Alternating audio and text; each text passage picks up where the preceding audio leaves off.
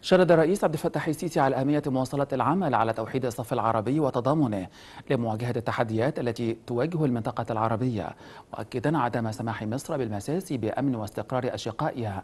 في دول الخليج وأن أمن الخليج جزء لا يتجزأ من أمن مصر. جاء ذلك خلال لقاء الرئيس السيسي في الرياض مع العاهل السعودي الملك سلمان بن عبد العزيز السعود.